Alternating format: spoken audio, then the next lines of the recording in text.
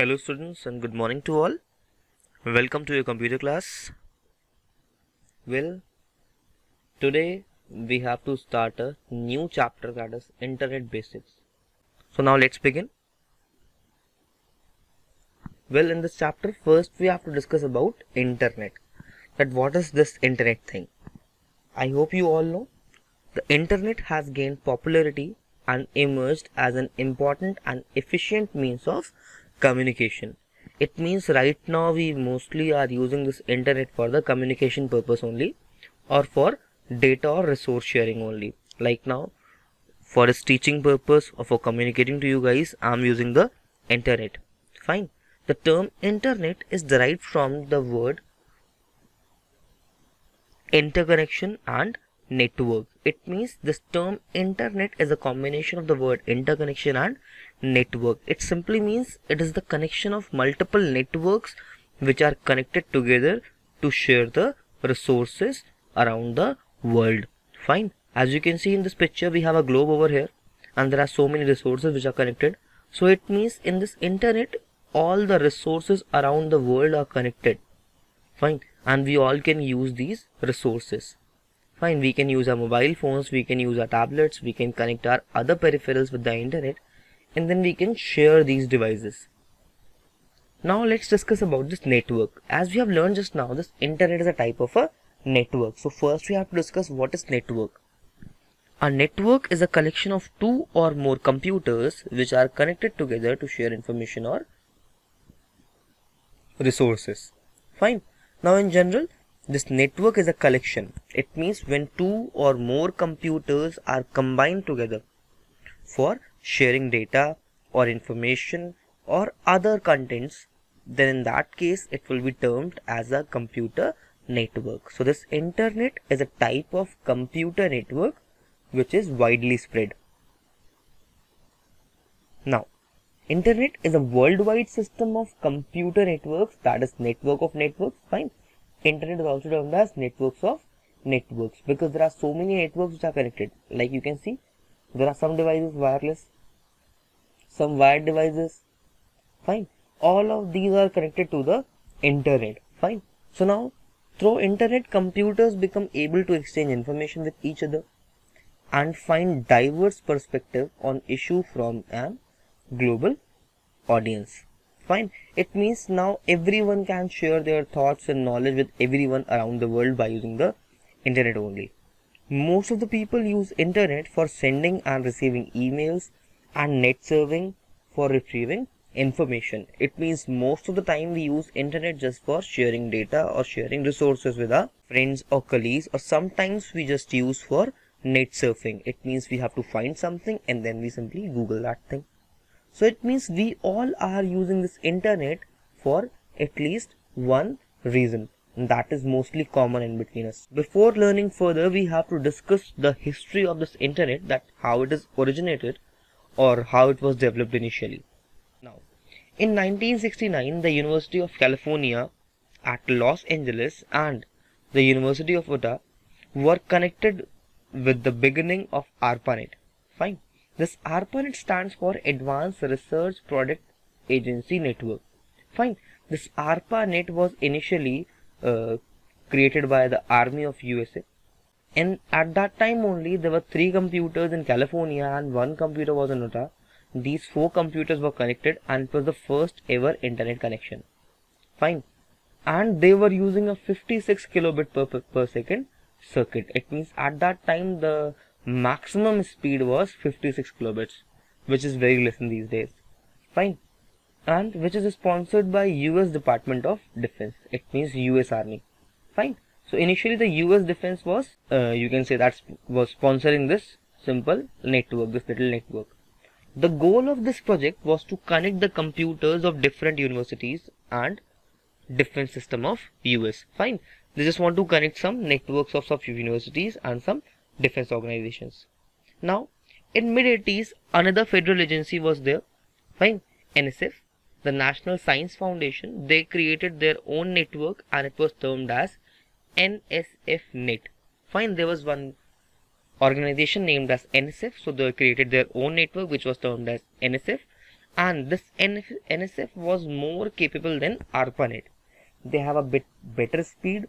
Fine, they were using some better technology. So then it was used for further use. The only drawback of NSF net was that it allowed only academic research. It means it was only for the universities. Fine. This NSF allowed a network only for the universities. It means some private business owners cannot use it. Now, there were so many organizations or there were so many persons who are working outside. They all were looking for this network. Fine.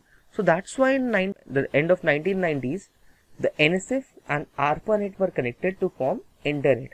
Fine. And then this internet arrived. It means this internet is a combination of ARPANET and NSF net. After the development of this World Wide Web thing, this internet was widely used. So now first we will discuss how this internet actually works. Now this internet as we know that it is a combination of multiple networks. It means there are so many small networks which are connected over here. Fine. And all these networks are the backbone of internet. It means without these networks internet cannot work.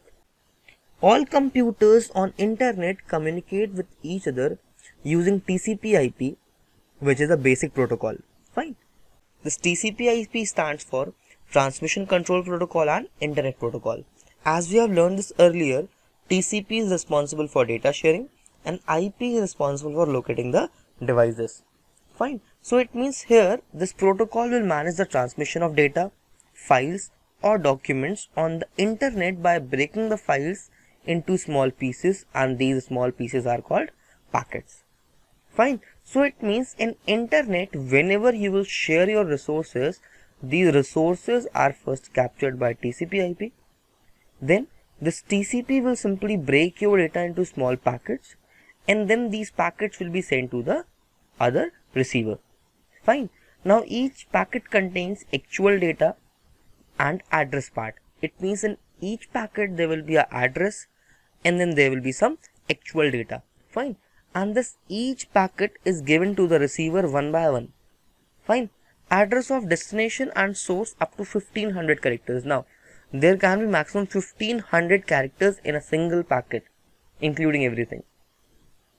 Now the TCP of the functioning of TCP and IP is given as follows. This TCP will break your message into small packets and then when at the receiver's edge you will receive that message again then it will again reassemble the data. Whereas IP only take care of our addresses. It means it will not touch your data. It will simply check for the location of the sender as well as the receiver.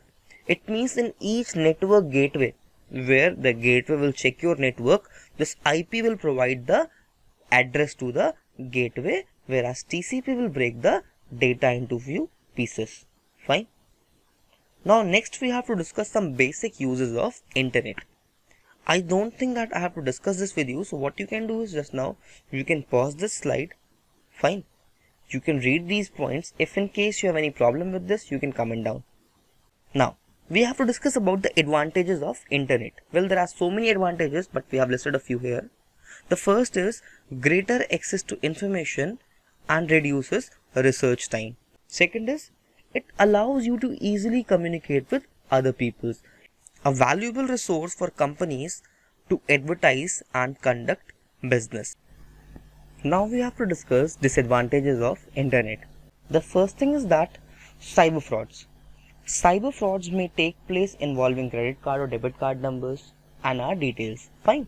The biggest fraud on internet is our cyber data it means they can easily track your credit card numbers your bank details and then they can perform transactions from your bank account without your permission. Fine. The next is unsuitable and undesirable material is available sometimes. It can be used by notorious people such as terrorists. It is a major source of computer virus. As we know that this virus is the biggest hit nowadays. Fine. So in internet there are so many viruses there are, there are so many malicious programs that can corrupt our data next is messages sent across the internet can be easily intercepted and are open to abuse by others it means any hacker or any middle attacker can easily access our messages and then they can misuse these informations. So that's why we have to use it very safely. Now, it is difficult to check the accuracy of information available on the internet. Fine. In internet, there are so many fake pages, fake websites and fake companies available there. So it becomes very difficult for us to check the authenticity of a data. After this much, we have to discuss about this most important term that is World Wide Web. This World Wide Web was introduced in 13th March 1989. Fine. It is a system of internet servers that support hypertext and multimedia to access several internet protocols on a single interface. It is often abbreviated as web or www.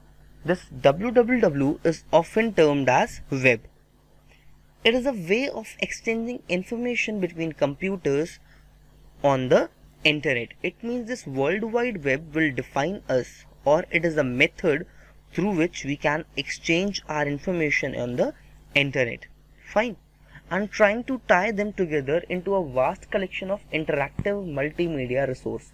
It is only a portion of what makes up the internet, but it is the fastest growing part of the internet. Fine.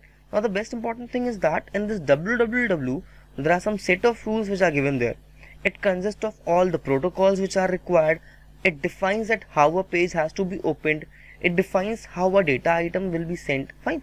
It means it contains a lot of information about our web pages and for each and every task on internet we must have to follow this www and that is the main reason that in all our websites we have this world wide web thing this makes the web a very useful tool for finding information about any topic. Now, after discussing about this World Wide Web and Internet, we will discuss about a very famous application named as web browser.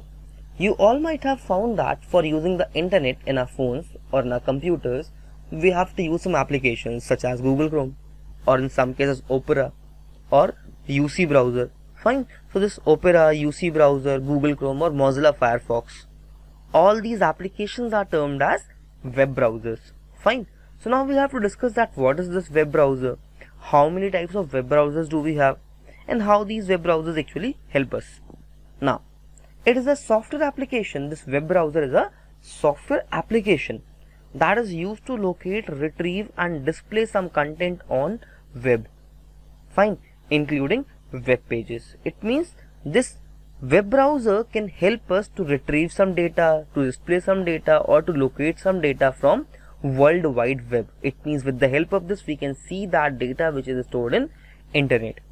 Fine. These are programs used to explore the internet. It means the, with this World Wide uh, sorry, it means with this web browser we can easily explore the content that is stored on internet. Fine. Now it is an interface that help a computer user to gain access over all the content on the internet. Fine.